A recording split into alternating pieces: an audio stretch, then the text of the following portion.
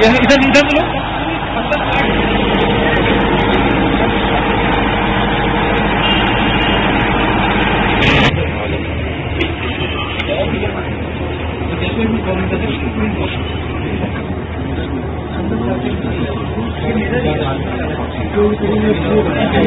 अभी लोग सामने का एग्ज़ाम सामने है।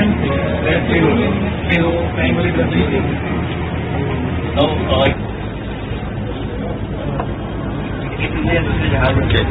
और हेलमेट में दो स्पीकर हैं जिससे वो बात सुन सकता है कि बाहर क्या बात कर रहे हैं। ये दो वाइजर्स होते हैं जो सन की ग्लेयर को प्रोटेक्शन करते हैं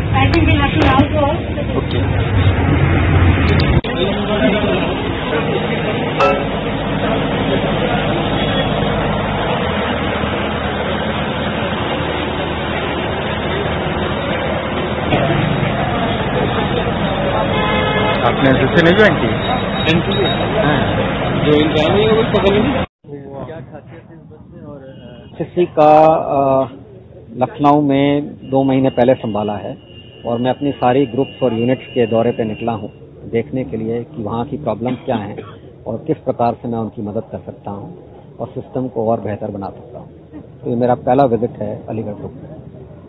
क्या कमियाँ लग रही हैं सिस्टम जिससे आप पूरा करना चाहेंगे आप मेरे लेक्चर के दौरान अंदर थे मौजूद थे या नहीं थे? आप नहीं थे हाँ जी। तो मैंने बताया है कि कुछ साधनों और संसाधनों की कमी है इस्टेब्लिशमेंट की कुछ कमियाँ हैं, कुछ बजटरी सपोर्ट की कमियाँ हैं। जहाँ तक करिकुलम है अच्छा है। जहाँ जो जो लक्ष्य जिसके, जिस, जिन उद्देश्यों से एनसीसी को बनाया गया, वो सब कुछ ठीक है। कहीं ना कहीं डिलीवरेंस में थोड़ी बहुत प्रॉब्लम हो रही है। और सेंटर और स्टेट के कॉपरेशन से ऐसा कुछ नहीं है कि हम सॉल्व नहीं कर सकते हैं।